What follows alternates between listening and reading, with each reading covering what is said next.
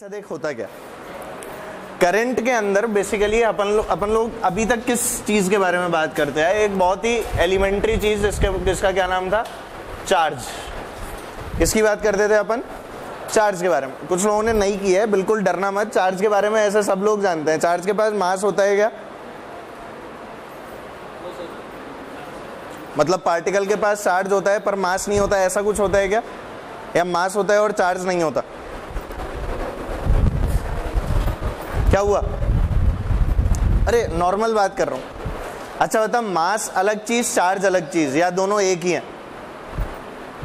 मास अलग चार्ज अलग, या दोनों एक ही हैं? दोनों अलग चीज़ हैं, ये तो पता है तुम्हें। अच्छा जैसे ग्रेविटेशनल फोर्स होती थी ना G M one M two upon R square याद है? ऐसे ही अपने पास में इलेक्ट्रोस्टैटिक फोर्स होती है। वो वाली फोर्स कौन सी होती है? K Q one Q two upon R square कितने तरह के चार्ज पड़े? दो या तीन? दो तरह के थे, तीन तरह के थे। एक न्यूट्रल भी तो था। अच्छा न्यूट्रल क्या कोई चार्ज था neutral is a combination neutral क्या है? कॉम्बिनेशन एक चार्ज था पॉजिटिव एक चार्ज था नेगेटिव अच्छा याद करो, एक और चीज़ तुमने शायद सुनी होगी या पढ़ी होगी कि चार्ज इनवेरिएंट होता है। चार्ज कैसा होता है? इनवेरिएंट स्पीड का उसके ऊपर कोई फ़र्क नहीं पड़ रहा होता। पता है कि नहीं तुम्हें? है ना? चार्ज पे स्पीड का देयर इज़ नो फ़र्क। परंतु क्या मास जो होता है? मास स्पीड पे डिपेंडेंट होता है। मास क्या होता है? M equals to M not under root one minus V square by C square सुने थे वाले फॉर्मूले कहीं सुने होंगे या किसी ने ऐसे ही स्टाइल में बताए होंगे? सुना तो होगा कुछ, है ना? तो मास जो है वो क्या कर रहा है? It is dependent on velocity पर वेलोसिटी भी कैसी? Comparable to the speed of light ऐसे नहीं, मैं पाँच मीटर पर सेकेंड से भाग रहा हूँ, मेरा मास वेरी करा दिया। नहीं नहीं छोटे मासेस की मतलब अपन लोग छोटी वेलोसिटीज की बात नहीं कर रहे। We are talking about very large velocities जहाँ पर जाके मास जो है वो चेंज होता है। ठीक है? अच्छा बता क्या ग्रेविटेशनल फोर्स ऑलवेज अट्रैक्टिव हाँ या ना? Gravitational force is always attractive true और फॉल्स सोच लो। ट्रू yes, होता है। अच्छा क्या electrostatic force is always attractive सोच के बोलेंगे। पक्की बात है। Electrostatic force is always attractive नहीं होती ना? अच्छा क्या it can be repulsive as well मतलब पॉजिटिव पॉजिटिव जब होते थे, तब क्या अट्रैक्टिव होती थी? रिपल्सिव होती थी। नेगेटिव नेगेटिव में? अच्छा पॉजिटिव नेगेटिव तो क्या इट डिपेंड से किस तरह के चार्जेस लिए गए हैं? और उसी के हिसाब से हमारी जो फोर्स है, वो डिफाइन होती थी। मतलब क्या ग्रेविटेशनल फोर्स और इलेक्ट्रोस्टैटिक फोर्स दोनों में डिफरेंसेज हैं? यहाँ पर चार्ज की डिपेंडेंसी और यहाँ पर मास की डिपेंडेंसी क्या दोनों बातें अलग अलग हैं? एक तरफ़ चार्ज दूसरी तरफ़ मास क्या मास और चार्ज दो दो अलग बात है। Both are two completely different concept इसीलिए दोनों को अलग से पढ़ना भी पड़ता है। ठीक है? अब अपन लोग तो सिर्फ़ चार्ज की कहानी पढ़ते हैं। ट्वेल्थ क्लास का मतलब क्या है? चार्ज ट्वेल्थ का मतलब ही क्या होता है? पहले चैप्टर से लेके आखिरी चैप्टर तक सिर्फ़ और सिर्फ़ किसकी कहानी है? चार्ज की। अब अपन ने चार्जेस एट रेस्ट की बात की तो क्या पढ़ ली? इलेक्ट्रोस्टैटिक्स क्या पढ़ ली? इलेक्ट्रोस्टैटिक्स अब चार्जेस को मूव करा देंगे। चार्जेस को मूव कराएँगे और मूव भी कराएँगे विद अ कांस्टेंट वेलोसिटी कैसे मूव कराएँगे? कांस्टेंट वेलोसिटी अच्छा एक्सेलरेटेड होता है तो कहानी कुछ और चलती है। वो वाला पार्ट आगे, किसके अंदर? मैग्नेटिज्म में। पर अभी अपना चार्ज कैसे चलेगा? कांस्टेंट वेलोसिटी तो जब भी अपना चार्ज कांस्टेंट वेलोसिटी से चलेगा तो हम लोग कौन से चैप्टर की बात कर रहे हैं? करंट इलेक्ट्रिसिटी कौन सा चैप्टर करंट इलेक्ट्रिसिटी अब एक चीज़ इमेजिन करना, बहुत छोटा सा इमेजिनेशन है। ये मान लो इसको एनर्जी की ज़रूरत थी। तो एनर्जी लाने के लिए आजकल लोग वो एक ड्रिंक आता है रेड बुल याद है? रेड बुल आता है ना? जिसको डांस नहीं करना, वो जाके दो रेड बुल गटक ले। गाना नहीं सुना तुमने? तो दो रेड बुल गटक ले, वहाँ तक तो ठीक है। अब मान ले मैं उठा के एक साथ इसके ऊपर इंजेक्शन लगा दूँ पचास रेड बुल के। कितने रेड बुल के? पचास। मतलब ऐसा समझ ले कि मैं पाँच सेकंड के अंदर, इसके अंदर पचास रेड बुल को ट्रांसफ़र कर रहा हूँ। और वहीं इसको भी एनर्जी चाहिए थी। ये पाँच मिनट के अंदर आराम से एक रेडबुल पीते। कितनी रेडबुल पाँच मिनट में एक। और ये क्या कर रहे हैं? पाँच सेकंड में पचास के इंजेक्शन खा रहे हैं। क्या ज़्यादा एनर्जी हो गई? क्या एनर्जी लेके फट सकता है? ये फटेगा क्या? ये नहीं फट रहा। मतलब कि ट्रांसफ़र ऑफ़ एनर्जी जो होती है, क्या चीज़? ट्रांसफ़र ऑफ़ एनर्जी और वो भी किसके रिस्पेक्ट में? टाइम के रिस्पेक्ट में। क्या that thing is something which is known to me वही चीज़ क्या मुझे पढ़नी है? है ना? ट्रांसफ़र ऑफ़ एनर्जी किसके रिस्पेक्ट में? टाइम के रिस्पेक्ट में। अब एक चीज़ दोबारा से इमेजिन करो। एक तो छोटी सी अपनी जो डेढ़ वोल्ट वाली बैटरी आती है ना पेंसिल सेल जैसे अपन लोग बोलते हैं। पेंसिल सेल से झटका लगता है तो बहुत तेज होता है क्या? नहीं होता। कभी लगा है पेंसिल सेल का झटका? कभी लगा भी नहीं होगा, क्योंकि वो फील ही नहीं होता, इतना कम होता है। और यही कभी स्विच बोर्ड में हाथ डाल के देख ले। पता लग जाएगा। बहुत सारा करंट जो होता है ना, वो बहुत सारी एनर्जी मतलब उसे करंट ना बोल के क्या बोलो? एनर्जी बोलो। वो बहुत सारी एनर्जी आपकी बॉडी के थ्रू फ्लो कर रही होती है। Within a very short duration of time within a very short duration of time और वो जो शॉर्ट ड्यूरेशन ऑफ़ टाइम है, वो आपके जीवन का बहुत खतरनाक मोमेंट होता है। अरे होता है ना यार। पूरे काप जाते हैं डर कभी किसी को करंट लगाए लगा होगा। सबको लगा होगा एक आध बार। ऐसे कई बार सर्दियों में तो ऐसा होता है कॉपी वॉपी पकड़ा रहे होते हैं, करंट लग जाता है। हाथ में लाते हैं, करंट लग जाता है। प्लास्टिक की कुर्सी से उठे, किसी से हाथ मिलाया तो डचैक नहीं हुआ? अरे होता है यार स्टैटिक चार्जेस नहीं पड़े तुमने। कंगा वंगा यूँ रगड़ के। तुमने ये सब चीज़ें की नहीं क्या? बचपन में करते क्या थे तुम? हैं? कंगा ऐसे हाँ यही सब करते थे ना? बहुत ज़्यादा किया है मतलब ये सब तूने। कंगा रगड़ते थे, ऐसे उनको उठा लेते थे, कागज़ को तोड़ तोड़ के यूँ लंबी सी लाइन बना लेते थे, ऐसा कुछ किया था? तो all those things are what ये सब चीज़ें हम लोगों को चार्ज से पता लगती हैं। किससे पता लगती हैं? चार्ज और इसी चार्ज की रेट ऑफ़ फ्लो इसी चार्ज की रेट ऑफ़ फ्लो को नाम दिया गया करंट क्या नाम दिया गया? करंट ठीक है? मतलब हम लोग बात कर रहे होंगे D Q by D T rate of flow rate of flow किसके रिस्पेक्ट में होता है हमेशा? टाइम के रिस्पेक्ट में। किसके रिस्पेक्ट में? टाइम के रिस्पेक्ट में। This quantity is known as current I इसी क्वांटिटी को क्या नाम दिया गया? करंट समझ रहे हो? क्या ये इंस्टेंटेनियस है? अरे D Q by D T is what instantaneous क्या होगा? इंस्टेंटेनियस और इसी को अगर एवरेज करा जाए तो एवरेज वैल्यू क्या होती है? जल्दी बता। आई एवरेज अरे बोलो रे। आई एवरेज क्या डेल्टा क्यू हो जाएगा? अरे जब वो डेल्टा बहुत छोटा होता है, तभी तो डी बनता है। तो इस डी को बड़ा करेगा तो क्या बनेगा? कैपिटल डी या डेल्टा? डेल्टा। तो हमारे पास में क्या आ जाएगा? या ऐसा बोल लू, चार्ज फ्लोन अपॉन क्या बच्चों टोटल टाइम अरे आएगा ना यार। तो यहाँ से क्या आ जाएगा अपने पास? Delta Q upon delta T तो ये तो एवरेज वैल्यू और दूसरी वैल्यू क्या है अपनी? इंस्टेंटेनियस वैल्यू दो तरह की वैल्यूज़ है। इंस्टेंटेनियस और एवरेज एवरेज हमेशा बड़ी या छोटी? एवरेज बड़ी या छोटी? बड़ी कैसे बोल रहा हूँ मैं? That the time interval is large ऐसे बड़ी नहीं बोल रहा कि इंस्टेंटेनियस बड़ी या एवरेज बड़ी। I am talking about in terms of the time interval यहाँ पर टाइम इंटरवल बड़ा या यहाँ पर? क्या यहाँ टाइम इंटरवल बड़ा क्योंकि यहाँ टाइम इंटरवल बड़ा है, इसीलिए we talk about the average things अगर मैं कोई ऐसा ग्राफ बनाऊँ, जिसमें एवरेज और इंस्टेंटेनियस की बात करूँ तो एवरेज वैल्यूज़ क्या हम लोग सीकेंड से दिखाते थे? सीकेंड जानते हो? A line passing through two points origin अबे, किसी कर्व को दो पॉइंट से काटने वाली लाइन क्या कहलाती है? सीकेंड एक पॉइंट वाली टेंजेंट तो टेंजेंट कौन इंस्टेंटेनियस वैल्यू तुम्हें कुछ याद ही नहीं है। इंस्टेंटेनियस वैल्यू हमेशा कहाँ से मिलती है? टेंजेंट से। कुछ याद आ रहा है? और एवरेज वैल्यू कहाँ से मिलती है? सीकेंड से। कुछ समझ में आती आ भी रही है थोड़ी बहुत बात? है ना? अब करंट की बात की गई। किसकी बात की गई? करंट तो बताने इसकी यूनिट क्या हो जाएगी? अरे यूनिट बोलो। दिख गई क्या सबको? कूलम पर सेकंड बोल सही है क्या? और इसको ऐसा यूनिट में कन्वर्ट किया तो क्या नाम दे दिया? एम्पियर क्या नाम दे दिया? एम्पियर बेसिकली तुम मानोगे नहीं, अपन लोग एक फंडामेंटल क्वांटिटी पढ़ रहे हैं। यूनिट डायमेंशन में पढ़ा electric current is a fundamental quantity याद आ रहा है? This is a fundamental quantity जो आज हम लोग पढ़ना चालू कर रहे हैं। फंडामेंटल पढ़ते हैं। मास पढ़ते हैं लेंथ पढ़ते हैं टाइम पढ़ते हैं टेम्परेचर पढ़ते हैं करंट पढ़ते हैं और मोल पढ़ते हैं। याद ही नहीं होगी, ये फंडामेंटल है। याद है? यूनिट डायमेंशन में सात फंडामेंटल बताई थी। उसमें एक कौन सी नहीं पढ़ते? चलो ये बता दो। कैंडला तो यूनिट थी। हाँ वो वो वो।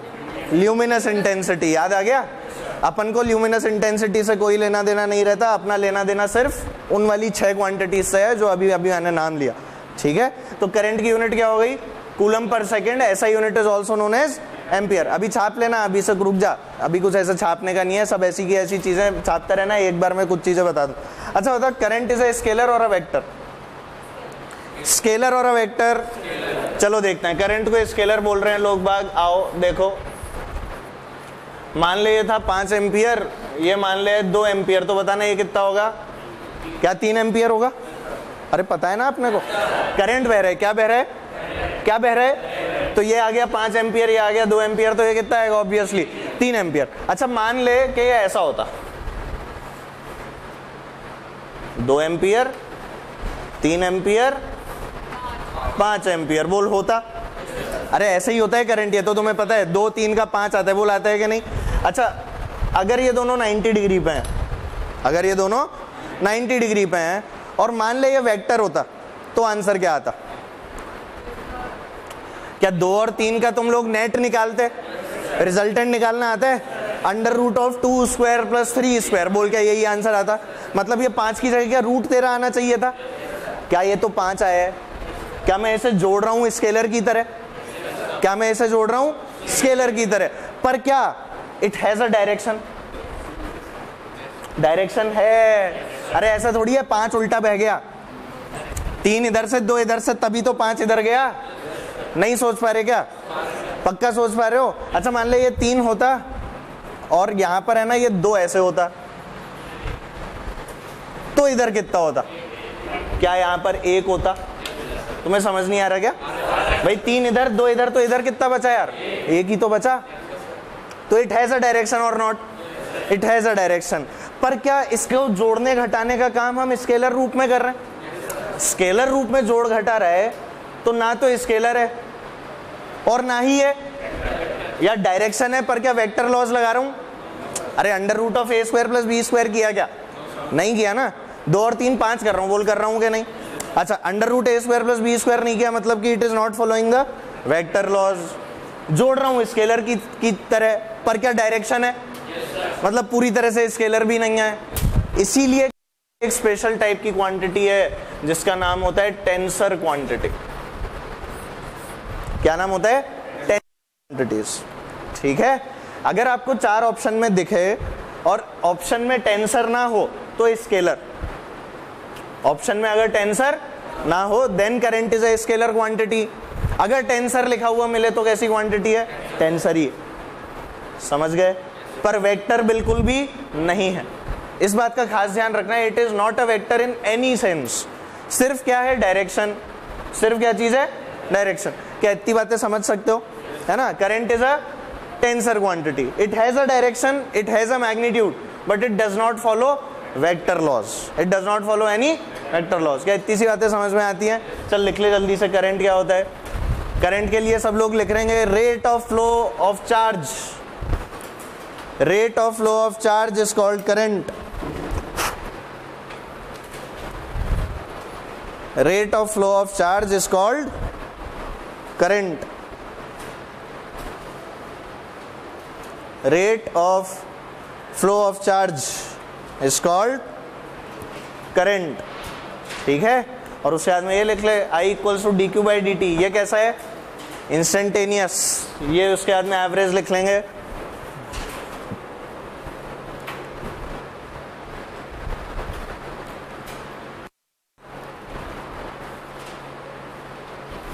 Instantaneous current average current unit लिख लें कूलम पर सेकेंड या फिर ampere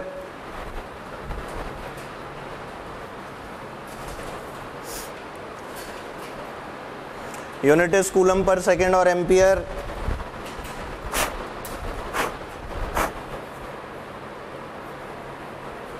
यूनिट आपको बता दी गई है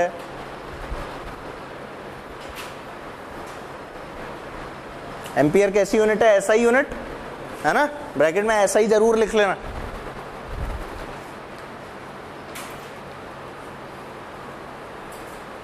ऐसा ही यूनिट है एम्पियर। तुम्हारे सारे मिसकंसेप्शन जो है, वो धीरे धीरे इस वाले चैप्टर में दूर हो जाएँगे। ठीक है? और एक इलेक्ट्रिकल इंजीनियर होने के कारण मेरा ये धर्म है और मेरा ये फ़र्ज़ है कि ये चैप्टर जो है, इस चैप्टर के साथ पूरा पूरा जो है ना, क्या बोलते हैं उसको? पीएचडी करवाई जाए तरीके से। साला कोई सवाल ही ना अटके करंट का, कहीं से भी दिख जाए, कोई भी दुनिया का सवाल, पर करंट का सवाल अपने से नहीं अटकेगा समझ गए? आराम आराम से धीरे धीरे सारे सवाल सॉल्व करते हुए चलेंगे, बस डरना मत। जहाँ डरना चालू है ना, वहाँ पे सारा मामला खत्म। करंट में यही होता है। करंट यहाँ बहा के वहाँ बहा, बस यही सोचते सोचते जीवन जो है वो क्या हो जाता है? खत्म हो जाता है। इसीलिए अपने को डरना नहीं है, जहाँ बहाना होगा, अपन अपनी इच्छा से बहाएँगे। करंट की खास बात यही है। समझ गए? अच्छा करंट के लिए क्या सबने लिख लिया? It is a tensor quantity पर क्या तुम्हें वैसे याद रखना है कि अगर ऑप्शंस के अंदर स्केलर वेक्टर टेंसर तीन आए तो क्या लगाओगे? टेंसर टेंसर नहीं आया तो लगा सकते हो। डर तो नहीं लगेगा। बहुत बढ़िया। तो जल्दी से एक सवाल कर दे मेरे लिए। आजा। मान ले। अच्छा बताना जरा आई किसका फ़ंक्शन है या क्यू किसका फ़ंक्शन है? क्यू किसका फ़ंक्शन है? जल्दी बोल। क्या टाइम का? तो अपने को एक equation the. Q equals to T square plus four T plus five क्या equation the? Q equals to T square plus four T plus five और इसमें क्वेश्चन दिया गया find I at T equals to three seconds और दूसरा दिया गया find I average from zero to two seconds और देखते हैं कितने लोग इससे आंसर निकाल पाते हैं। तुम ऐसे सवाल कर चुके हो काइनामेटिक्स में याद है। काइनामेटिक्स पढ़ी थी, तब तुमने एवरेज वेलोसिटीज निकाली थी। चलो जल्दी से करके दिखा दो। पहले का टेन बोल रहे हैं लोग। हाँ अगला अगला भी निकालो।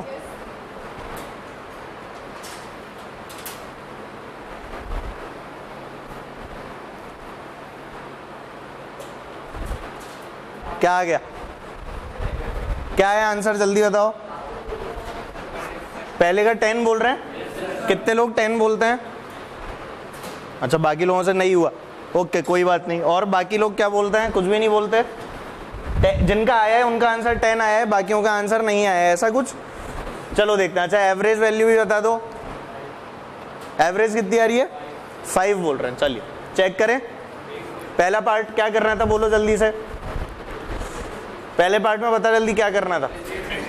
क्या I equals to D Q by D T instantaneous निकालना था एवरेज क्या मुझे बोला था find current at T equals to three seconds at का मतलब क्या है? एट थ्री सेकेंड्स मतलब तीन सेकेंड पर क्या होगा? या तीन सेकेंड तक क्या होगा? तीन सेकेंड पर क्या होगा? मतलब मैंने क्या लिखा? I equals to D Q by D T जरा बताना D Q by D T कितना आ गया? डायरेक्ट लिख दू? डरोगे तो नहीं? टी स्क्वायर का बोल। टू टी प्लस फोर क्या फाइव का ज़ीरो फाइव का ज़ीरो मज़ा आ गया। टू टी प्लस फोर आ गया। भैया वैल्यू क्या डालनी थी? टी इक्वल्स टू थ्री कितना आ गया? दो इंटू तीन प्लस चार. आंसर बोलो। दस एम्पियर अरे, कोई समस्या है क्या? पहला पार्ट शायद सब लोगों ने कर लिया होगा। जिन्होंने नहीं किया, शायद उनको पता लग गया होगा कैसे करना है। कोई समस्या तो नहीं? चलिए, दूसरा पार्ट दूसरे पार्ट में हम लोगों से क्या बोला? जल्दी से बताओ। दूसरे पार्ट में हमें बोला एवरेज निकालने को। क्या निकालने को?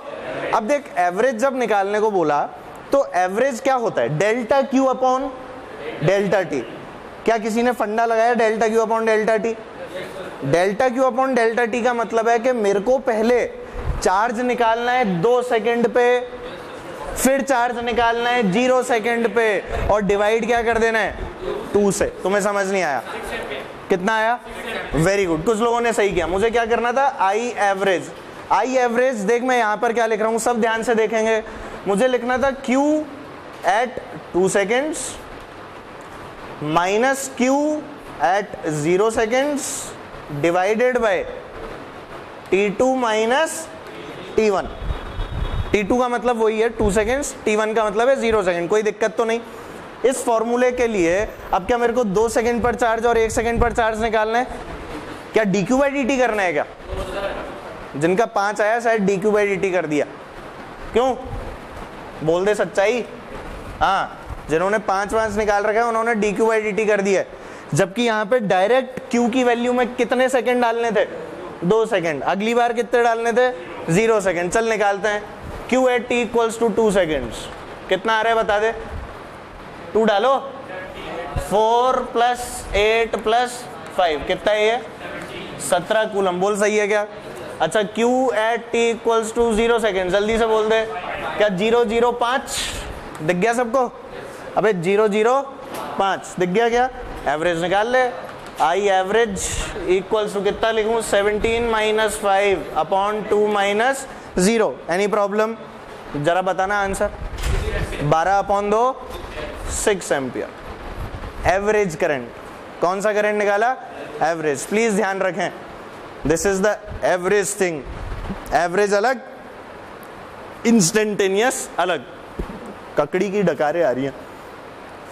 तुम्हारी मैथ्स में मिलता है क्या? सलाद वलाद. क्या मिलता है? खीरा? अरे, ऐसे सवाल तो कर लोगे ना यार. अच्छा अब इसी में एक और चीज़ बता. इसी में अगर हम लोगों से बात की जाए सुनना मेरी बात। अरे, आपस में बात नहीं, मेरी बात सुन। इसी में अच्छा ज़रूरी है क्या अपने को हमेशा Q as a function of time मिले? अच्छा और क्या मिल सकता है? अबे I as a function of time भी तो मिल सकता है? नहीं मिल सकता। अच्छा देख क्वेश्चन देख। क्या दिया था? I equals to T square कुछ और लेता हूँ, चल four T square plus eight T plus four four T square plus eight T plus four. ये दिया हुआ था अपने को। और इस बार पता है क्या बोला? Find the charge flown find the charge flown in five seconds क्या लिखूँगा? लिख लो सवाल।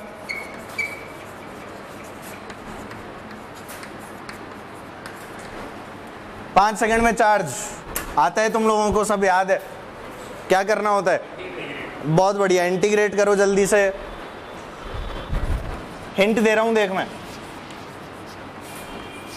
ये हो गया हिंट खत्म। कर लो। गलत मत करना यार ये।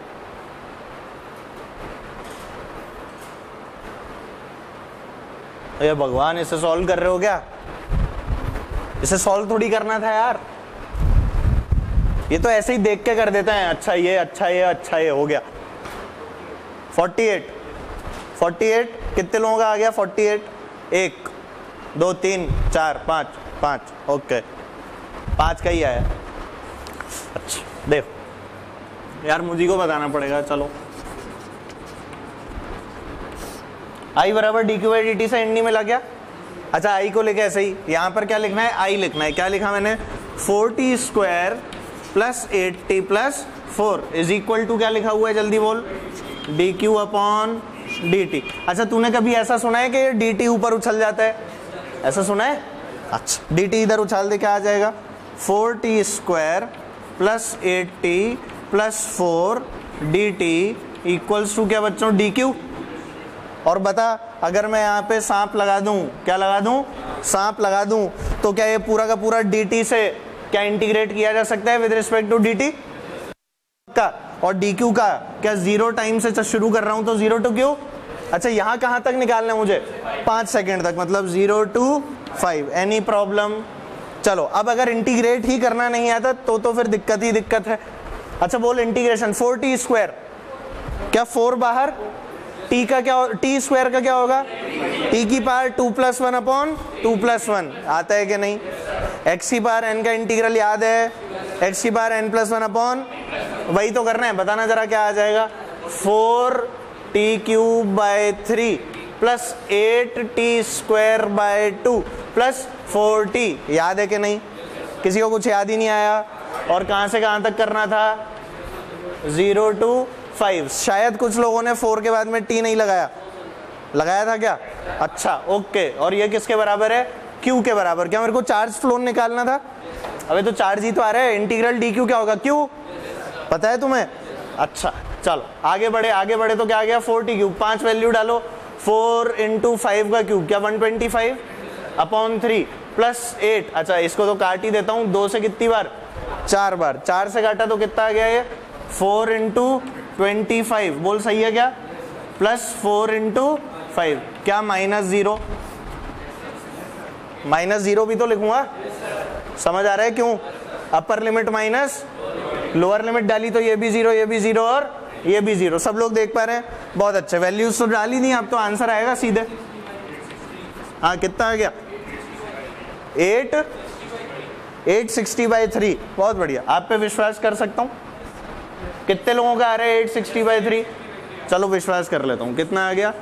Eight hundred and sixty upon coulomb या ampere. Is equal to charge flown कितनी देर में? पाँच सेकेंड। पाँच सेकेंड में इतना चार्ज जाएगा। ये करंट वेरिएबल था क्या? हाँ टाइम के साथ वेरिएबल था ना। अरे ज़ीरो पे अलग, एक पे अलग, दो पे अलग। तो जब भी करंट ऐसा वेरिएबल वगैरह होगा तो क्या मेरे को इंटीग्रेट करना है? समझ गए? जब भी चार्ज वेरिएबल होगा तो क्या मेरे को डिफ्रेंशिएट करना है? किसके रिस्पेक्ट में चीज़ है? टाइम के रिस्पेक्ट में। समझ पा रहे हैं? प्लीज़ ध्यान रखें कांस्टेंट होना और वेरिएबल होना दोनों अलग बात ठीक है? अपन इस, इसे जनरली पता है? ये जो अपन ने लिखा है ना I equals to D Q by D T इसको अपन कई बार जनरली सीधे बोल देते हैं Q equals to I T तुमने शायद बचपन में ये वाला फॉर्मूला पढ़ा भी होगा। Q equals to I T पढ़ा था। ये वही वाला फॉर्मूला है रियलिटी में तो। बड़े होके क्या हो गया वो? D Q by D T पर असली फॉर्मूला क्या था? क्यू इक्वल्स टू ये कौन से करेंट के लिए कांस्टेंट कौन से करंट का है ये? कांस्टेंट क्या ये जो दोनों चीज़ें हैं these are all for variable currents variable कैसे? टाइम के रिस्पेक्ट में। किसके रिस्पेक्ट में? टाइम के रिस्पेक्ट में। तो प्लीज़ याद रखें। अच्छा इलेक्ट्रोस्टैटिक्स में अपन ने एक बहुत नॉर्मल सा क्यू इक्वल्स टू एनी याद है? Q equals to plus minus N E ये वाला फॉर्मूला भी हम लोग पढ़ चुके हैं। शायद इससे सब लोग रिलेट कर पाते हैं। कैसे? ई e का मतलब क्या होता है? चार्ज ऑन द इलेक्ट्रॉन और एन क्या होता है? कितने नंबर ऑफ़ इलेक्ट्रॉन प्रेजेंट है? तो टोटल चार्ज क्या होगा? मैं कहूँ, ये जो बेंच यहाँ रखी है, इसके ऊपर एक Avogadro number of electron present है। तो कितना चार्ज होगा? क्या 6.023 point zero two three into ten की twenty three multiplied by E होगा कि नहीं? यही तो बात है क्यू इक्वल्स टू एनी सही है कि नहीं? अच्छा एक न्यूट्रल कंडक्टर पे कितना चार्ज होता है? क्या हो गया? अच्छा क्या न्यूट्रल का मतलब मतलब ये होता है कि इलेक्ट्रॉन प्रोटॉन दोनों ही नहीं है? बराबर है है ना? न्यूट्रल डज नॉट मीन कि it does not contain any electron और प्रोटॉन इसका क्या मतलब है? बराबर है। क्या मतलब है? बराबर इलेक्ट्रॉन और बराबर प्रोटॉन एक चीज़ और जल्दी से बता दो। नेगेटिवली चार्ज कंडक्टर का क्या मतलब है? क्या it has an excess of electron positively charge excess of protons electron deficit क्या बोलूँगा? Electron deficit excess of proton नहीं बोलेंगे। क्योंकि जो भी ट्रांसफ़र हम लोग पढ़ते हैं वो किसका ट्रांसफ़र पढ़ते हैं? इलेक्ट्रॉन का। छोटी छोटी बातें हैं जो आपको याद होनी चाहिए। अच्छा बता, कोई कंडक्टर अगर नेगेटिवली चार्ज है तो उसका मास ज़्यादा होगा या फिर एक पॉजिटिवली चार्ज कंडक्टर का मास ज़्यादा होगा? सोच के बोलो, सोच के बोलो, क्यों? क्योंकि इलेक्ट्रॉन ज़्यादा है। अबे इलेक्ट्रॉन का मास भी तो होता है। तो नेगेटिवली चार्ज कंडक्टर का मास क्या होगा? बहुत नॉर्मल सा सवाल पूछा जाता है। कौन से एग्ज़ाम्स में ये भी बता दूँ? वीआईटी सब देते हैं। बिट्स पिलानी सब देते हैं। दोनों में पूछा जाता है। और एक बार नहीं, तीन बार पूछा जा चुका है। ये और सुन ले। ठीक? और ये लगता बहुत आसान है। पर यही वाला सवाल जब के के इंटरव्यू में पूछा जाता है तो हम चार बार सोचने लगते हैं कि इतना आसान सवाल कैसे पूछ सकते हैं? समझ रहे हो? तो वहाँ भी पूछा गया है। ऐसा नहीं है। वहाँ पर भी पूछा गया है। सब देंगे ना इस साल के भी भाई? अरे दे लेना। दे तो लेना। देने में क्या जा रहा है? तैयारी तो तुम कर ही रहे हो। बस तो ऐसे क्या मुँह बना के क्यों बैठे हो? हैं? अरे वही नवंबर में होगा। फॉर्म वॉर्म आएँगे, भर देना। समझ भी रहे हो क्या कुछ? जो बातें बताई जा रही हैं, क्या तुम्हें कुछ समझ में आ रही हैं? अच्छा चलो। तो इसी बात पे सब लोग अब हेडिंग इस पे और सवाल कराऊँ क्या? D Q by D T और इंटीग्रल आई डी टी पे? नहीं कराने ना? चलो। तो हेडिंग डालेंगे सब लोग। कहानी करंट की।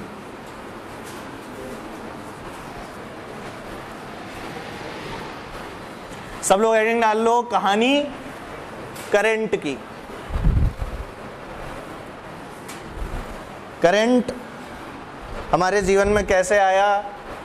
क्या हुआ?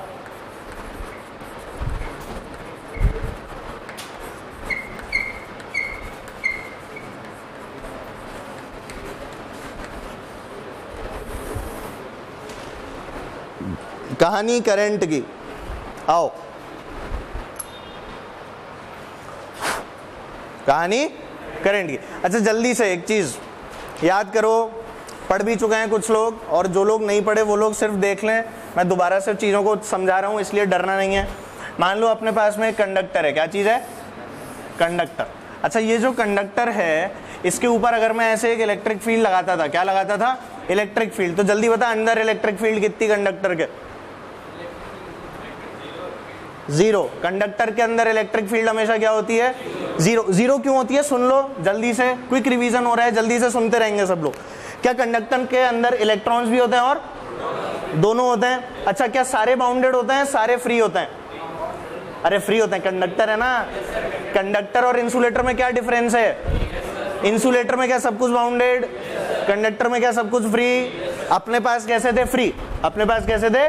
फ्री अच्छा बता इलेक्ट्रिक अगर मैं ऐसे लगाऊँगा तो एक चीज़ बता, जो पॉजिटिवली चार्ज आयंस मौजूद हैं, या मान लिया जो प्रोटॉन्स हैं, उनके ऊपर फोर्स किधर लगती है? In the direction of field positive charges पे फोर्स लगती है in the direction of electric field क्या इतनी सी बात मैं याद रख सकता हूँ?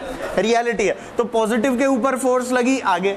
अच्छा क्योंकि कुछ नेगेटिव चार्जेस भी मौजूद थे तो उनके ऊपर फोर्स कहाँ लग गई? पीछे को। अरे, कहाँ फोर्स लग गई? पीछे।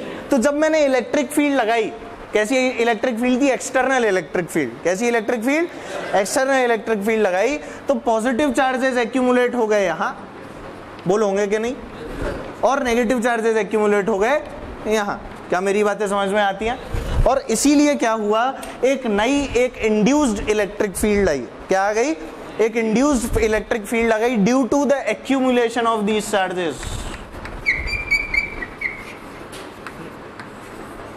due to the accumulation of charges इस तरफ़ पॉजिटिव और इस तरफ़ नेगेटिव जिसकी डायरेक्शन हमारी एक्सटर्नल इलेक्ट्रिक फ़ील्ड के ऑपोजिट थी. जिसकी डायरेक्शन क्या थी? एक्सटर्नल इलेक्ट्रिक फ़ील्ड के ऑपोजिट एक्सटर्नल की डायरेक्शन क्या बच्चों? ये है। इसको क्या नाम दे दिया? ई एक्सटर्नल और इंड्यूस्ड जो आई, उसकी डायरेक्शन क्या है? Opposite E external E induced ठीक है?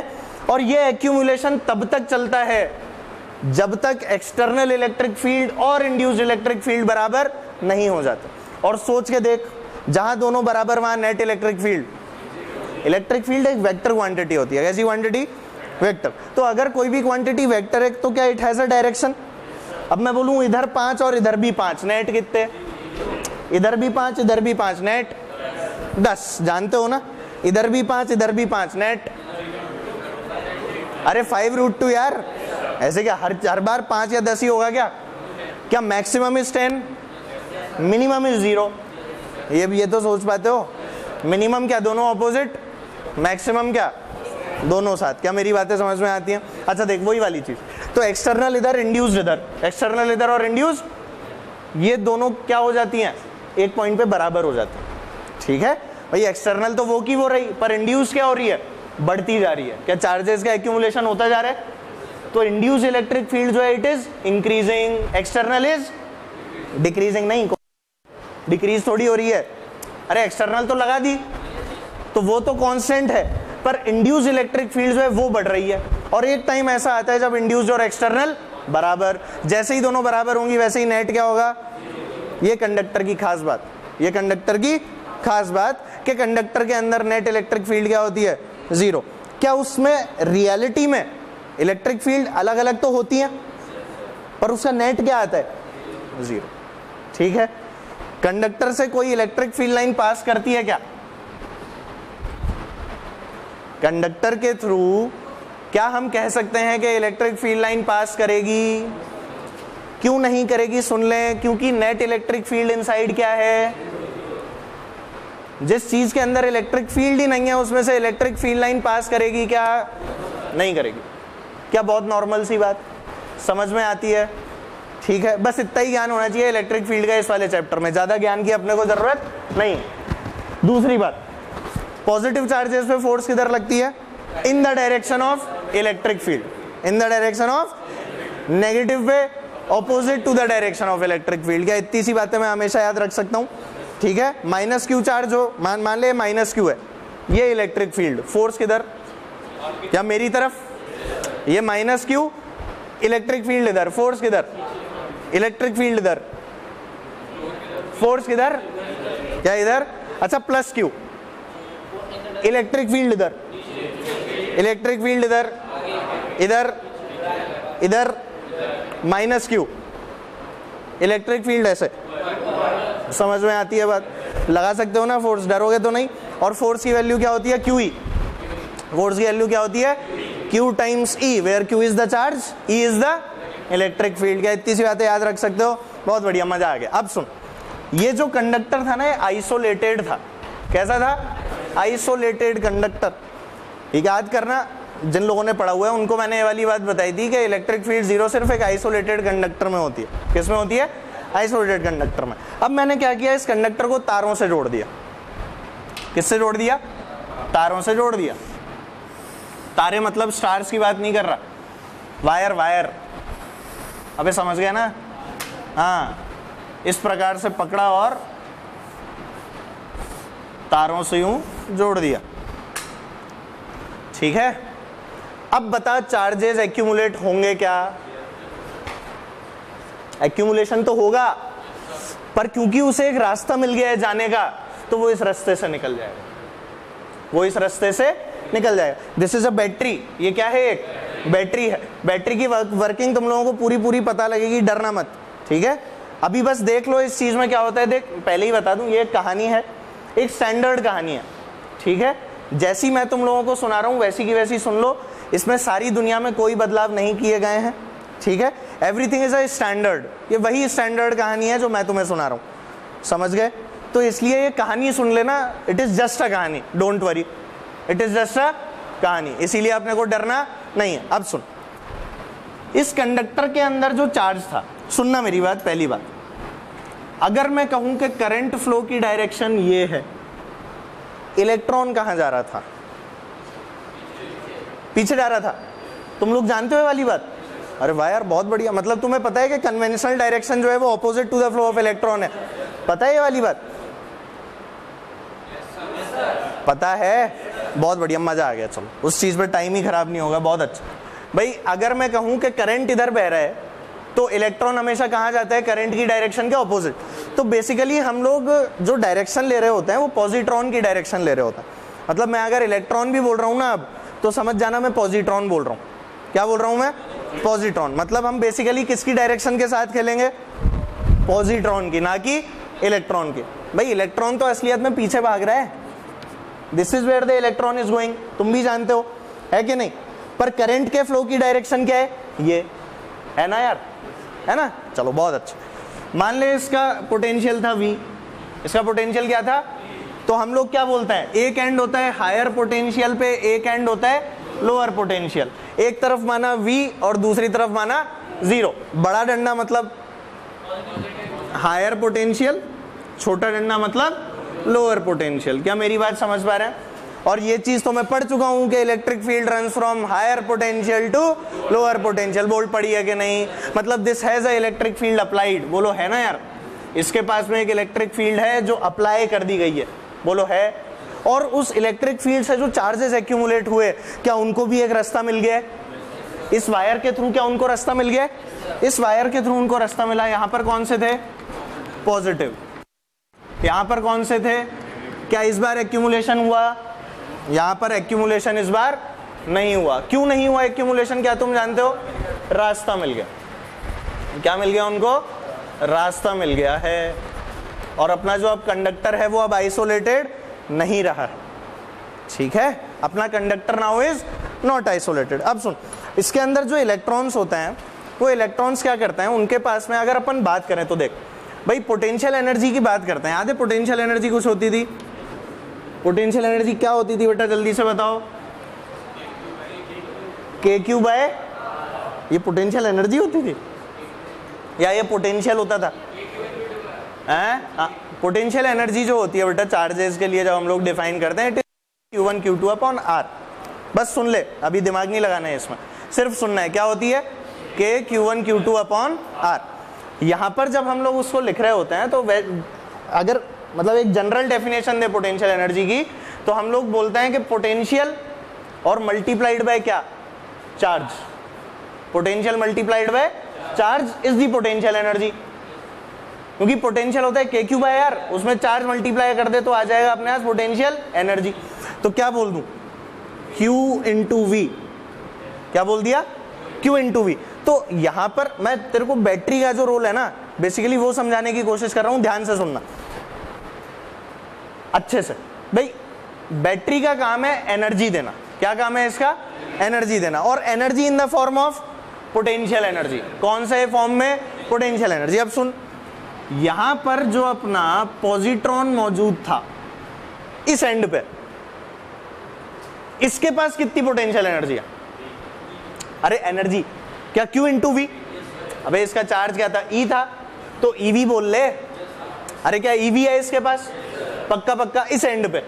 अब होता क्या है, ये यहाँ से एनर्जी लेके भागता है। एनर्जी लेके क्या करता है? भागता है। और यहाँ पर आके एनर्जी क्या हो जाती है? दिख गया तेरे को? यहाँ पर आके एनर्जी क्या हो जाएगी? अब जहाँ इसकी एनर्जी ज़ीरो हुई तो ये क्या इस वाले तार के अंदर से जाता है? तार के अंदर से जाता है और ट्रेवल करता हुआ पहुँचता है किसके पास? बैटरी के पास। ठीक है? अब ये जो अपना पॉजिट्रॉन है ना इट हैज़ बिकम अ भिकारी क्या बन चुका है? भिखारी। भीख माँगता हुआ जाता है, अल्लाह के नाम पे दे दे रे बाबा, और किसके पास जाता है? बैटरी के पास। समझ गए? बैटरी एक बहुत महान व्यक्ति है। बैटरी क्या है एक महान व्यक्ति जो हमेशा भीख देने को तैयार है। ले, मेरी तरफ़ से तू भी क्या याद करेगा। अरे, समझ रहे हो ना? तो ये गया मरा हुआ इसके पास। पहले, यहाँ पर तो एकदम चौड़ा होकर खड़ा था, आजा, साला कौन बिट रहे तो ईवी एनर्जी लेके निकला। दूसरे एंड पे आके क्या हुई? ज़ीरो ज़ीरो वही नीचे आया, लौट के किसके पास? बैटरी के पास। बैटरी बोली, ले बेटा तू भी क्या याद करेगा? ग्लूकोन डी पियो और दोबारा से घूमो। क्या मेरी बात समझ रहे हो? मतलब एनर्जी ले लेके जो मोशन हो रहा है पॉजिट्रॉन का, क्या उसी को मैंने करंट नाम दे रखा है? अरे बैटरी का रोल समझ में आ रहा है। कौन घूम रहा है? असलियत में कौन घूम रहा था? इलेक्ट्रॉन असलियत में कौन घूम रहा था? मैंने क्या डायरेक्शन मान रखा है? उसका उल्टा। उसका? तेरे को फील तो आ रही है कि हम लोग क्या चीज़ पढ़ रहे हैं? बैटरी का रोल समझ में आ गया। खैर, इस बारे में अपन बाद में और बातें करते हैं। एक इलेक्ट्रोमोटिव फोर्स पढ़ते हैं अपन ईएमएफ के नाम से। इसी चैप्टर में आगे आएगा। तब अपन लोगों को उस चीज़ की ज़्यादा फील आएगी। पर अभी तू ये समझ के, ये चलाता क्या बन के? शेर बन के। यहाँ पहुँचा तो क्या था? अबे चूहा, बिल्ली क्या? चूहा बन चुका था। क्या बन चुका था? इस चूहे को शेर दोबारा किसने बनाया? बैटरी ने वापस से कितनी एनर्जी दे दी? ईवी और जैसे ईवी एनर्जी दी, दोबारा से आजा साला भागेंगे अब। क्या मेरी बात समझ पा रहे हो? तो बैटरी का रोल जो है हमारे जीवन में वो बहुत इंपॉर्टेंट है। हैं? वेलोसिटी नहीं भाई पोटेंशियल है हाँ? हाँ lower potential higher to lower it is not necessary के ज़ीरो मानो। हम क्या कन्वेंशन से एक तरफ़ हायर एक तरफ़ लोअर मानते हैं? हायर को फुल कर देते हैं लोअर को ज़ीरो कर देते हैं। ठीक है? फील आएगी, इसकी धीरे धीरे फील बनती है, ऐसे डायरेक्टली फील नहीं आती। चिंता नहीं करनी अभी। अभी बैटरी वैटरी सब पढ़ेंगे बिल्कुल, बिना चिंता के। अभी रुक जा। चलो भाई हायर पोटेंशियल से लोअर पोटेंशियल कौन बह रही थी हमारी? इलेक्ट्रिक फ़ील्ड एकदम बढ़िया, हम लोगों को मज़ा आ रहा था। ठीक है? अब हुआ क्या? ये जो इलेक्ट्रॉन थे ना, ये इलेक्ट्रॉन जब अपनी जगह से मूव कर रहे थे तो एक चीज़ सोच। इन इलेक्ट्रॉन का मूवमेंट हमने क्या माना? They're moving with a constant velocity they're moving with a constant velocity और अगर मैं रूम टेम्परेचर पे किसी कंडक्टर को रख दूँ तो उसमें से फालतू में करंट आता है क्या? हाथ लगाया, करंट आ गया। क्या ऐसा होता है? नहीं होता ना। क्या तब तक करंट नहीं आता जब तक हम उसे किसी एक्सटर्नल सप्लाई से जोड़ना दें? भाई, तुम्हें वैसे करंट जो है नज़र वजर नहीं आता, पर अपन ये टीवी वी चलाते हैं। टीवी पुराने वाले आते थे ना, वो बड़े डब्बे वाले टीवी। तो उसमें पीछे एक पिक्चर ट्यूब रहती है। क्या रहती है? वो पिक्चर ट्यूब पता है बीम ऑफ़ इलेक्ट्रॉन्स फेंकती है, जिससे इमेज बन रही होती है। It is known as a cathode ray tube क्या बोलते हैं उसे? कैथोड रे ट्यूब, जिससे तुम लोग टीवी देखते थे पुराना। आजकल ये सारी technology is being replace by LEDs LED जानते हो? तो सारी चीज़ें अब किसमें कन्वर्ट हो गई हैं? एलईडी में। वो सारा पुरानी जो टेक्नोलॉजी है, वो सब बंद हो चुकी है। आजकल कहाँ आते हैं? बड़े टीवी किसी के होते हैं तो क्या बोलते हैं? गरीब आदमी होगा। नहीं, मेरे यहाँ भी लगा हुआ है, ऐसा नहीं है। है ना? मैं बस तुम्हें एक बात बता रहा हूँ। आजकल तो नया टीवी चाहिए सबको जो दीवार पे टंगता हो। कितने लोगों के पास है? दीवार पे टंगने वाला। बहुत स्टाइल मार रहे हो बेटा, है ना? पहले एलसीडी आया। सबसे पहले क्या आता था? सीआरटी पहले आता था सीआरटी सीआरटी के बाद क्या आया? एलसीडी एलसीडी का full form liquid crystal display बिल्कुल सही जवाब हाँ। याद है ना? और अब एलसीडी को भी किसने रिप्लेस कर लिया? एलईडी अच्छा टीएफटी पता है तुम्हें? टीएफटी क्या? है? तोड़ो, फोड़ो, तोड़ो। थिन फ़िल्म हाँ सही बोल रहे हैं। टीएफटी यही होता है थिन फ़िल्म ट्रांजिस्टर आप बिल्कुल सही है, डरे नहीं। तूने पढ़ा होगा साले कहीं पे, है ना? ज़ाहिर सी बात है, पढ़ा था तभी तो याद है। हाँ चलो। खैर टेक्नोलॉजी की बात हो रही थी इलेक्ट्रॉन के फ्लो की बात हो रही थी। तो यही इलेक्ट्रॉन का फ्लो हम लोगों से बहुत सारी चीज़ें हमें रिज़ल्ट में दे रहा होता है। अब हमने बात की रूम टेम्परेचर पे। क्या रूम टेम्परेचर पे अपने को करंट आता है? पर क्या इलेक्ट्रॉन तो फ्री है उसके पास? भाई, जो अपना कंडक्टर है, उसके पास इलेक्ट्रॉन क्या है? They are free to move उसके अंदर हमें कोई दिक्कत नहीं है। अब वो जो मोशन हो रहा होता है ना इलेक्ट्रॉन का, वो कैसा मोशन होता है? ध्यान से देखना। जैसे मान लीजिए अपना इलेक्ट्रॉन है। ठीक है? ऐसा जिगजैग सा मोशन कर रहा होता है। इधर जाते हैं, टकरा जाता है, इधर जाते हैं, टकरा जाता है, इधर जाते हैं, टकरा गया, इधर जाते हैं, टकरा गया, ऐसा। ये इलेक्ट्रॉन है, निकला। ऐसे गया, ऐसे आया। ऐसे आया ऐसे आया, वापस ऐसे आ गया। ये इलेक्ट्रॉन का मोशन कहाँ से निकला था? ऐसे ऐसे ऐसे ऐसे ऐसे और ऐसे। जहाँ से चला क्या वहीं पर आ गया? एवरेज वेलोसिटी आएगी कि नहीं? अरे, आएगी कि नहीं? एवरेज स्पीड नहीं है ज़ीरो एवरेज वेलोसिटी क्या है? एवरेज स्पीड नॉन ज़ीरो क्या हो गया? अबे वेलोसिटी क्या होती है? क्या डिस्प्लेसमेंट अपॉन टाइम बोलना डिस्प्लेसमेंट है कि नहीं? अच्छा बोल average speed distance upon time क्या डिस्टेंस ज़ीरो है? इसीलिए एक कंडक्टर में जो इलेक्ट्रॉन होता है, उसकी स्पीड जो होती है it is very very greater than the velocity उसकी जो स्पीड होती है it is very very greater than the velocity थोड़ा अपन लोग क्या ज़्यादा डीप चले गए मतलब है ना? ओलंपियाड लेवल की बात करने लग गए। पर हाँ तेरे को पता होना चाहिए। समझ गया ना? बिल्कुल बिल्कुल बिल्कुल। क्यों है? अब ये भी सुन। अब जब ये सवाल किया है तो सुन ले। इलेक्ट्रिक फ़ील्ड थी क्या अप्लाइड? नहीं थी। क्या वो ज़ीरो थी? तो इस, क्योंकि इलेक्ट्रिक फ़ील्ड ही कोई नहीं थी अप्लाइड तो net electric field inside a conductor is always. तो करंट मिलना चाहिए क्या? भाई, करंट कब मिलेगा? जब इलेक्ट्रॉन अपनी जगह से डिस्प्लेसमेंट दिखाएगा। मिलेगा ना? तभी मिलेगा। यहाँ दिखाया क्या? क्यों? क्योंकि इलेक्ट्रिक फ़ील्ड ही क्या थी यार? क्या मेरी बात समझ गए? हंड्रेड परसेंट अब मैंने इलेक्ट्रिक फ़ील्ड लगा दी, उसे रूम टेम्परेचर से उठा दिया।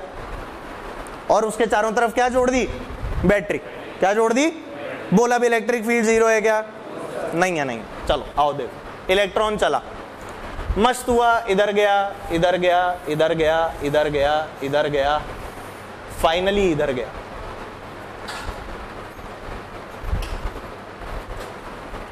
क्या तुम्हें इनिशियल और फाइनल पोजीशन में डिस्प्लेसमेंट नज़र आया? और ये जो डिस्प्लेसमेंट था, अगर इधर इलेक्ट्रिक फ़ील्ड अप्लाइड थी तो इसी डायरेक्शन में आया।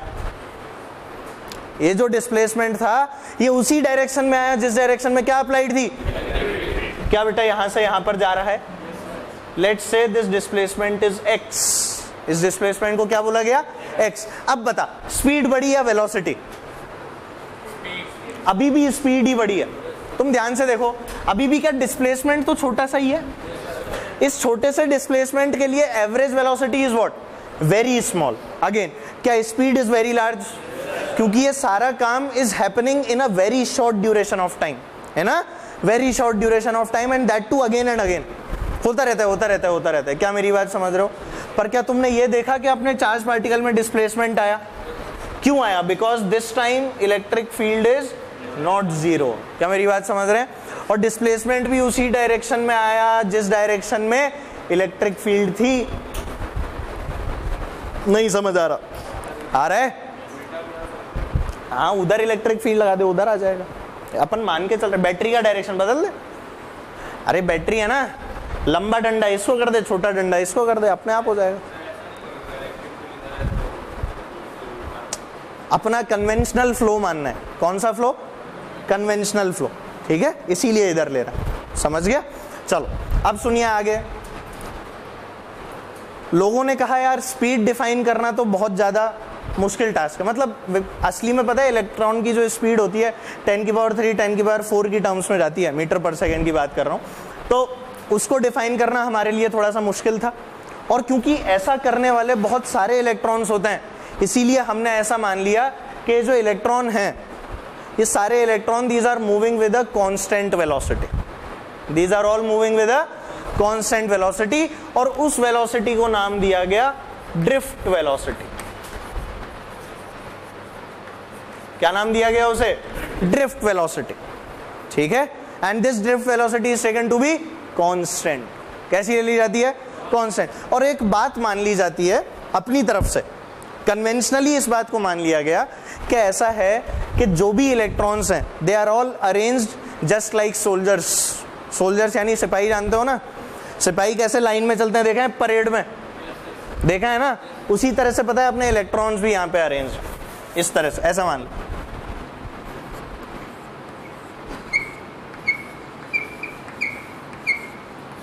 सिपाही टाइप्स हैं।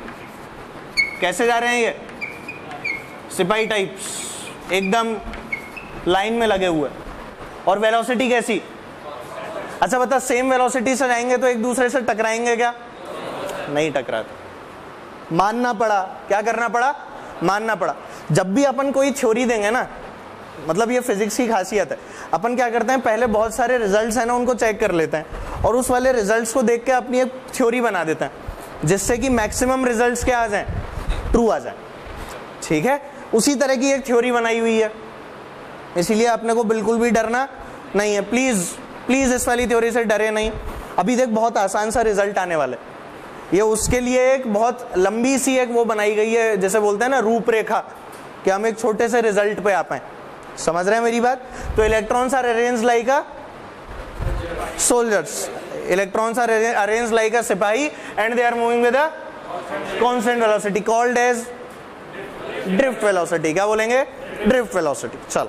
ड्रिफ्ट क्यों बोलते हैं? क्योंकि इसके पोजीशन में डिस्प्लेसमेंट में चेंज आ गया।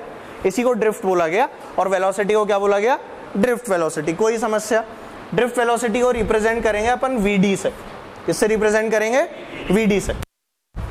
अब हमने दोबारा एक कंडक्टर बनाया। देखना। फाइनल रिज़ल्ट की ओर बढ़ रहे हैं अब हम लोग। दोबारा से हमने कंडक्टर बनाया वायर से जोड़ा। और क्या बात की सुने? वी वी ज़ीरो ठीक है? हमने अब कुछ चीज़ें डिफाइन कर दी। चल, एक चीज़ बता, अगर कोई कंडक्टर है तो इलेक्ट्रॉन तो होंगे ही सही। बहुत सारे या बहुत कम? बहुत सारे। कितने इलेक्ट्रॉन हैं? और क्योंकि बहुत सारे हैं, इसीलिए हम लोगों ने क्या किया? एवरेज वेलोसिटी मान ली। इसीलिए हम लोगों ने क्या किया? एवरेज मान ली। बहुत सारी क्या करना पड़ता है? एवरेज ही लेना पड़ता है, इसीलिए एवरेज मान ली गई। सोच के देख, अगर मैं एक ग्राम किसी सब्सटेंस की बात करूँ तो क्या एक ग्राम के अंदर N A number of electron अरे जानते हो ना? एक ग्राम में कितने इलेक्ट्रॉन होते हैं? एक ग्राम कुछ भी बोल ले। क्या बोल रहे हैं? चल कॉपर बोल रहे एक ग्राम कॉपर तो उसके अंदर इलेक्ट्रॉन कितने हैं? Six point zero two three into ten की पावर ट्वेंटी थ्री तो क्या इतने तो हमेशा ही मौजूद है? अब ये इतने ही मान ले, आपस में टकरे टकरे मचाए जा रहे हैं। तो अपने को क्या अपन एक एक को चेक कर सकते हैं?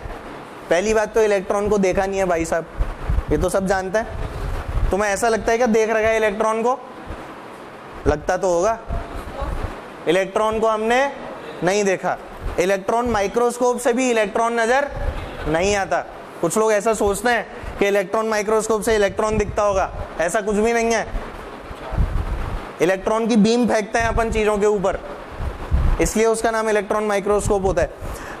Electron itself is a concept वो खुद कैसा कंसेप्ट है?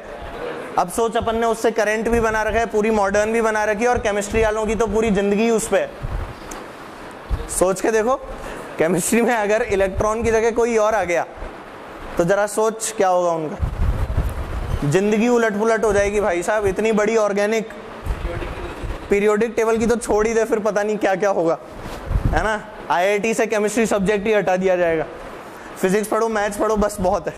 ऐसे सब्जेक्ट अपन लोग नहीं पढ़ेंगे। चलो हाँ ड्रिफ्ट वेलोसिटी हमारे पास में आ गई। ड्रिफ्ट वेलोसिटी क्या थी? एवरेज और कैसी थी? कौन कॉन्स्टेंट हमने इसे दोबारा से बनाया और हमने इसीलिए क्योंकि there there were a very large number of electrons we defined a term called N N का मतलब था number of charge carriers per unit volume क्या मतलब था एन का? Number of charge carriers per unit volume please ध्यान रखें। N is not just the number of charge carriers it is charge carriers per unit volume अब सोच। अपन ने, है ना, इनको, जो अपन ने लिए सारे, अपन ने इसमें दो पोजीशन कंसिडर कर ली। एक ये पोजीशन और एक ये पोजीशन ठीक है? इस पोजीशन पर हमारे पास में मान ले ये तीन इलेक्ट्रॉन्स हैं। ठीक?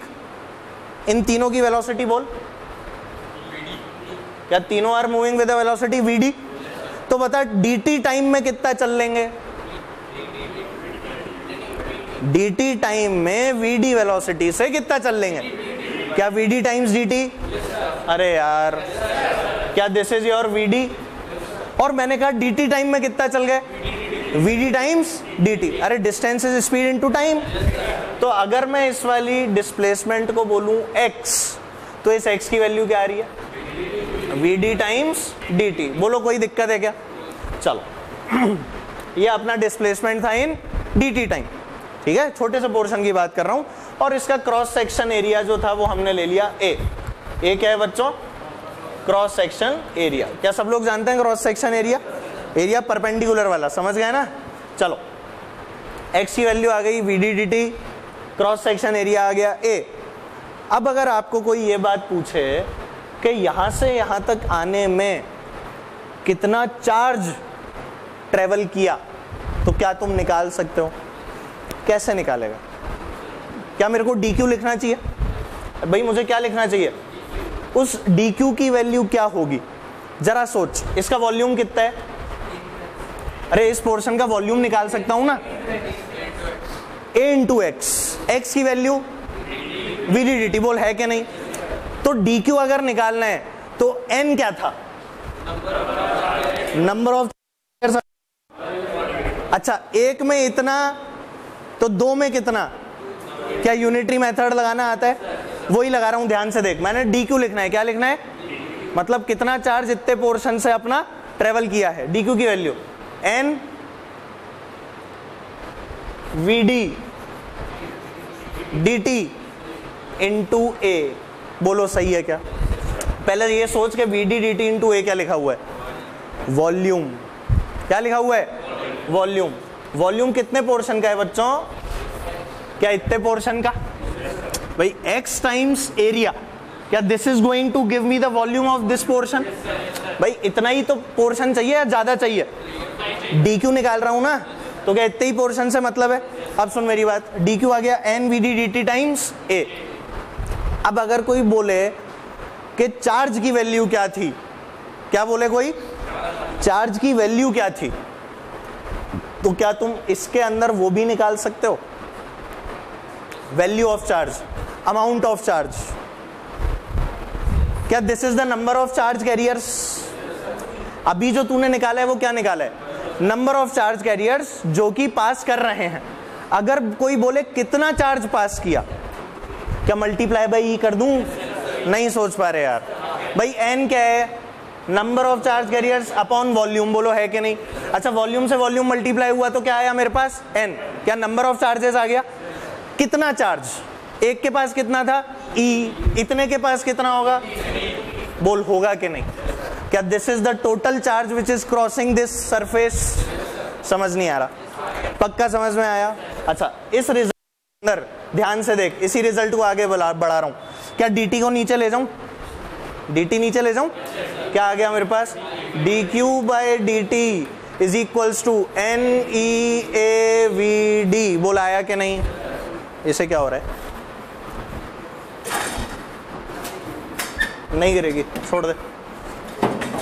हाँ अपने हाथ में क्या आ गया? D Q by D T equals to N E A V D और ये D Q by D T तो कुछ सुना हुआ है। शानदार। तो अपने आज में क्या रिज़ल्ट आ गया? I equals to N E A V D current का रिज़ल्ट किसी भी कंडक्टर में current flowing is given by what I equals to N E A V D where N is the number of charge carriers per unit volume please ध्यान रखें terminology में गड़बड़ करते ही शानदार मामला जो है वो खत्म हो जाता है। N is the number of charge carriers per unit volume E is the charge on one carrier अबे, एक कैरियर का चार्ज ही है ना? पक्का? अगर मान ले इलेक्ट्रॉन दे दूँ तो क्या होगा? 1.6 पॉइंट सिक्स इंटू टेन की और minus nineteen A is the area of cross section V D is the drift velocity क्या तेरे को कुछ समझ भी आ रहा है? तेरे को एक भी चीज़ समझ नहीं आई? क्यों ऐसा लग रहा है मुझे? थोड़ी लंबी कहानी है, मैं खुद जानता हूँ।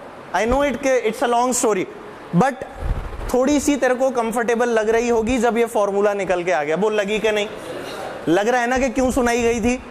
तेरे को फील दिलाने के लिए कि देख, कुछ ड्रिफ्ट वेलोसिटी होती है, क्यों इलेक्ट्रॉन को एनर्जी की ज़रूरत होती है, क्यों बैटरी लगाई जाती है? क्या तुम्हें कुछ कुछ बातें समझ में आई?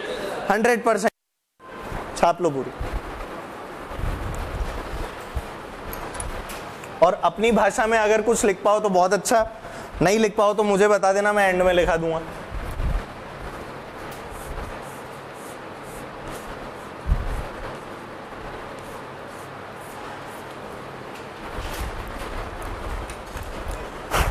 चलो स्टार बना के एक लाइन लिखो जल्दी से। The velocity the velocity due to the presence of electric field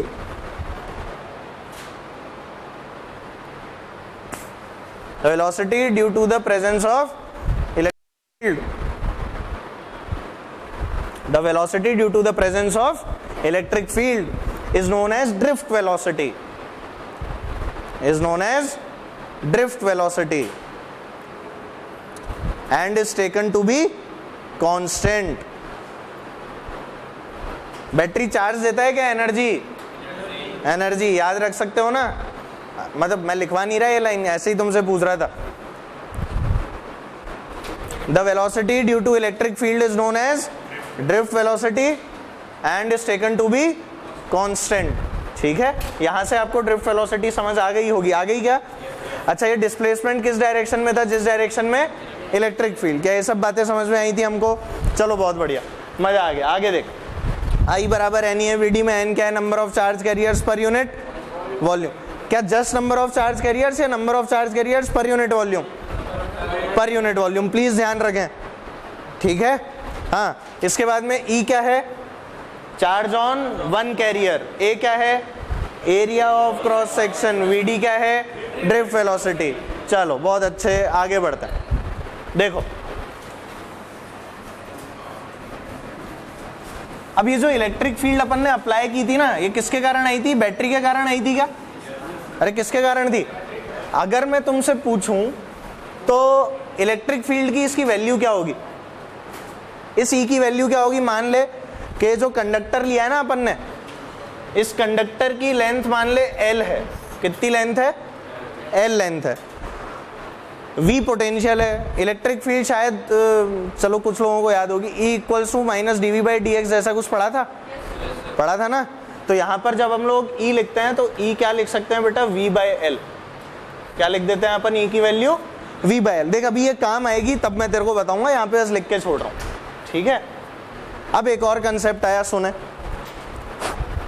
ये करंट कैसा था? कांस्टेंट करंट कैसा था? कांस्टेंट अगर मान ले, मैं तुझे ऐसा कहूँ, ध्यान से सोचना इस कंसेप्ट को।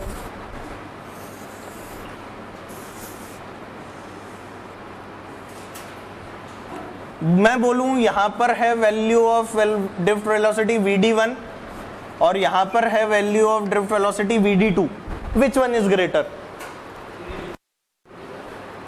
which one is greater greater और इक्वल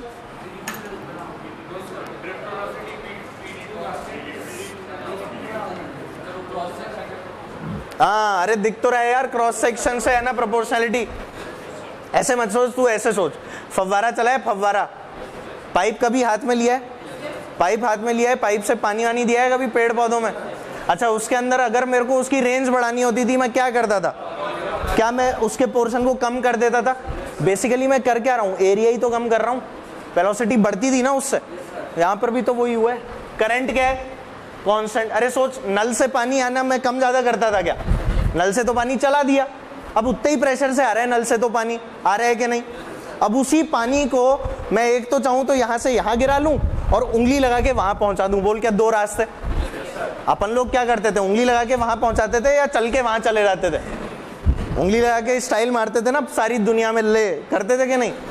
पता नहीं तुम लोगों ने गार्डन वगैरह में कभी पानी दिया कि नहीं? ऐसे दूसरों के घरों में नहीं, अपने घर में भी। पेड़ पौधे तो उगा लेने चाहिए दस पंद्रह सब लोगों को। तो उसमें जब पानी देता है ना तो एक जगह पे खड़े होकर लंबी दूर तक बौछार अपन लोग मार सकते हैं। ठीक है? हाँ। तुम कहाँ पहुँच जाते हो यार?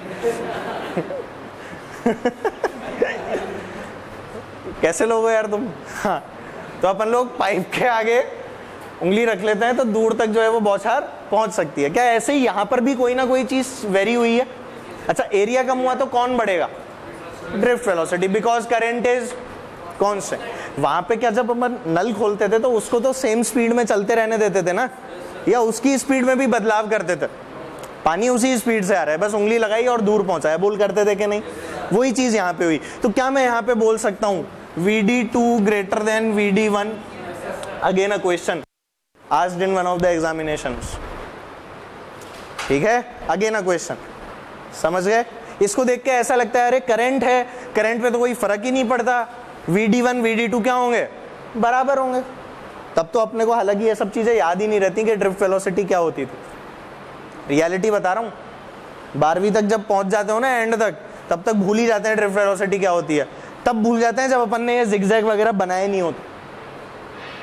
तुम लोग शायद अब भूलोगे नहीं कि ड्रिफ्ट वेलोसिटी क्या होती है। भूल जाओगे क्या? ऐसा लग रहा है अगली में ही भूल जाएँगे। ऐसा तो नहीं लग रहा ना। चल अच्छा देख VD2 क्या आ गई ग्रेटर देन VD1 अब सुनना आगे की कहानी, देख। एक चीज़ होती है, मैंने अभी अभी कहा था कि आपस में इनका कोलिजन होता है। क्या हो रहा होता है? कोलिजन कोलिजन हो रहा होता है तो बेटा मान ले पहला कोलिजन यहाँ हुआ, दूसरा कोलिजन यहाँ हुआ। तो दो कोलिजन के बीच में जो डिस्टेंस होती है, उस डिस्टेंस को बोला जाता है लेमडा क्या बोला जाता है? And this lambda is known as the mean free path क्या बोलते हैं इस लेमडा को? मीन फ्री पाथ ऐसा बोल लो कि distance between two successive collisions क्या नाम दे दिया? Distance between two successive collisions और दो कोलिजन्स के होने के बीच में, जो एक टाइम ड्यूरेशन टाइम गैप भी आता होगा, उस टाइम ड्यूरेशन को नाम दिया गया ताऊ क्या नाम दिया गया? And this tau is known as the relaxation time क्या नाम दिया गया इसे? Relaxation time this is tau torque लिखते थे ना टाउ ये वही वाला ताऊ है। तो ये ताऊ क्या था? रिलैक्सेशन टाइम और लैमडा क्या था? Mean free path mean free path की डेफिनेशन क्या बोली अभी अभी हमने? डिस्टेंस बिटवीन हाँ सक्सेसिव कोलिजन्स और रिलैक्सेशन टाइम क्या बताया? Time between two successive collisions बहुत अच्छे। सिर्फ़ टर्मिनोलॉजी है, ऐसे याद रखना है, और कुछ भी नहीं। ठीक है? अब एक चीज़ सोच जरा। क्या असली में अपने पास जो कंडक्टर है, उस कंडक्टर में जो अपने पास इलेक्ट्रॉन या पॉजिट्रॉन जो भी चीज़ मौजूद है, क्या उसके ऊपर रियलिटी में फोर्स लगती है इलेक्ट्रिक फ़ील्ड होने के कारण? उस फोर्स की वैल्यू क्या होती है? क्यू ई उस फोर्स की वैल्यू क्या होती है? क्यू ई देख, अगर मैं यहाँ पे वो कंडक्टर बना रहा हूँ, देख।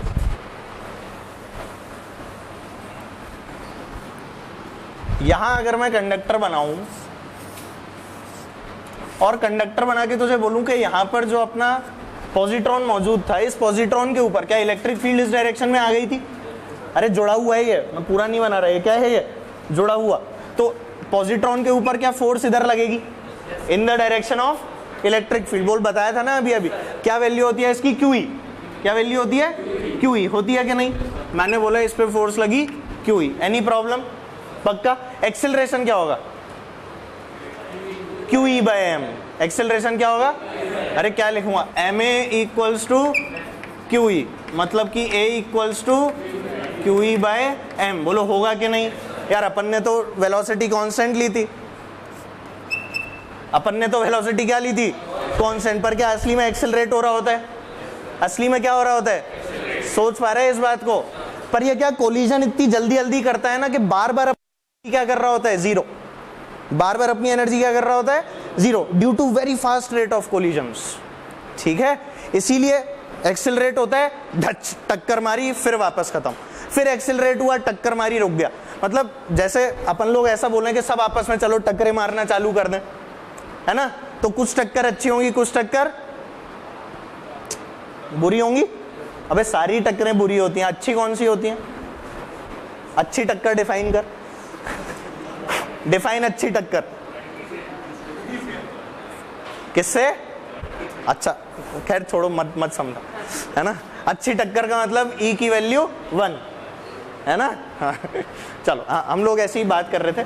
तो अपन लोग, है ना मीन फ्री पाथ और रिलैक्सेशन टाइम पे बात कर रहे हैं। और फिर हमने बोला कि इलेक्ट्रॉन जो होता है, वो एनर्जी लेता है, टक्कर मारता है एनर्जी छोड़ता है, फिर अपनी एनर्जी लेगा एक्सेलरेट करेगा, टक्कर मारेगा। तो चल बता, अगर मैं तेरे को बोलूँ मीन फ्री पाथ की जो वैल्यू है लेमडा अगर मैं ये लेमडा की बात करूँ और लेमडा से तेरे को वीडी निकालने को बोलूँ तो वेलोसिटी क्या होती है?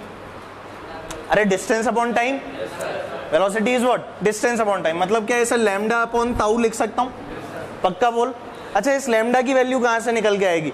क्या इस लैम्डा की वैल्यू हम निकाल सकते हैं? S equals to UT plus half AT square initial velocity क्या ज़ीरो इनिशियल वेलोसिटी यानी कि क्या I can apply S equals to U T plus half A T square तो लेमडा की वैल्यू क्या आ गई बोल? This is zero half into ये कितना हो गया? ए कितना Q E by M and multiplied by tau square बोलो ठीक। मल्टीप्लाइड बाय कितना आ गया? टाउ स्क्वायर अगर ये टर्म मेरे पास में आ गई तो जरा ये बता क्यू की वैल्यू क्या है? क्या ई e? क्यू की वैल्यू कितनी है? ई e, हम लोगों ने यहाँ पर क्या लिख दिया? छोटा ई एनी प्रॉब्लम तो अपने बेटा थोड़ी देर के लिए फेर दे इसको। हाँ। तो हम लोगों ने क्या बोला? Half E by M times tau square any problem सबको समझ आती है बात? लेमडा की वैल्यू तुम्हारे पास है। क्या यहाँ पे पुट कर दी जाए? देखना कितनी आ रही है। Half E E by M tau क्या this is V D square काट दिया ना एक टाउ एक टाउ से एक टाउ को काट दिया। क्या वी डी की वैल्यू आ गई? Half E by M times tau V D की वैल्यू हमारे पास में मौजूद कुछ इस प्रकार से आती है। ठीक है? क्या चीज़ बेटा? भाई क्यू का मतलब क्या है? चार्ज चार्ज किसका? पॉजिट्रॉन का पुट कर दी वैल्यू ठीक है? अब अपना फॉर्मूला क्या था? करंट का। जल्दी से याद कर ले। यहाँ जो निकाला। क्या फॉर्मूला है? जल्दी बोल। I equals to N E A V D इसके अंदर पुट करते हैं। चला जा अपना फॉर्मूला आया। I equals to n e A v d की वैल्यू वहाँ से। कितनी है? Half e e by m times tau any problem पक्का? आगे की टर्म बोल। N e square A e tau by two m any problem अभी तक जल्दी से बता दे, है क्या? अच्छा ये जो इलेक्ट्रिक फ़ील्ड अप्लाइड थी, इसकी वैल्यू बोल। क्या वैल्यू है? V is the velocity potential v is the potential क्या असलियत में पोटेंशियल डिफरेंस है? अरे इधर v, इधर ज़ीरो तो v माइनस ज़ीरो बराबर v तो है। तो in reality this is what potential difference यहाँ पर वैल्यू डाल। क्या आ गया अपने पास में? E की वैल्यू पुट कर दे। कितनी आ गई? I equals to n e square A v tau upon two m l any problem बेटा e की वैल्यू पुट की गई है कितनी? V बाय एल ये रहा ये रहा e e. Electric field v by l क्या सब लोग देख पा रहे हैं इसको? अच्छा अब वी को यहीं छोड़ा, ये सारी चीज़ें इधर उछाल के ले गया। देखना v equals to two m l upon क्या ये भी पूरा? N e square A tau multiplied by I क्या सब लोग नज़र देख पा रहे हैं कुछ कुछ ध्यान से देखिए क्या लिखा हुआ है।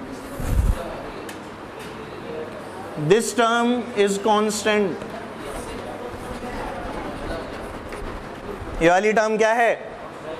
कुछ देख तेरे को दिख रहा होगा। There is a relationship between potential difference and current नज़र आया? yes, किस किसमें रिलेशन लिखा है? पोटेंशियल डिफरेंस और क्या ये लिखा हुआ है? V upon I equals to a constant Ohm's law कहाँ पहुँच गए? ओम्स लॉ तो अपने हाथ में क्या आ गया यहाँ से? V इक्वल्स टू या ऐसा लिख दूँ, v upon I equals to constant और यही तुम्हारा कौन सा लॉ होता है? ओम्स लॉ अरे नज़र आ रहा है? यही है भाई साहब ओम्स लॉ यहाँ से निकल के आ रहा है वो.